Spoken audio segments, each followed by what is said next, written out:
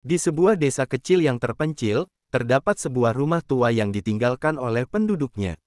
Rumor tentang keberadaan kuntilanak yang menghantui rumah tersebut telah menjadi cerita menakutkan di kalangan warga desa. Suatu malam, seorang pemuda bernama Dito yang penuh dengan rasa penasaran memutuskan untuk menjelajahi rumah tua itu. Dengan cemas, ia membuka pintu berderit dan memasuki koridor yang gelap. Ketika Dito melangkah mendalam ke dalam rumah, dia mendengar suara langkah kaki yang berderap pelan di belakangnya. Detak jantungnya semakin cepat, namun ia tetap melanjutkan perjalanannya dengan ketakutan yang melekat. Tiba-tiba, ruangan itu menjadi sangat dingin. Dito merasakan hembusan angin di lehernya, dan ketika ia berbalik, melihat sosok wanita dengan gaun putih panjang dan rambut panjang terurai yang menutupi wajahnya. Dengan suara serak, wanita itu berkata, siapa yang berani mengganggu rumahku?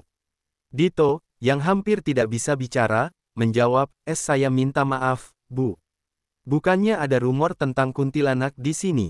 Wanita itu tersenyum, kau benar, tapi bukankah lebih baik tidak percaya pada rumor?